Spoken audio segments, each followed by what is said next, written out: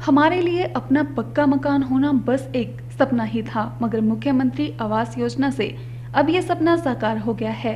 मंडी जिला के विकास खंड द्रंग की कुन्नू पंचायत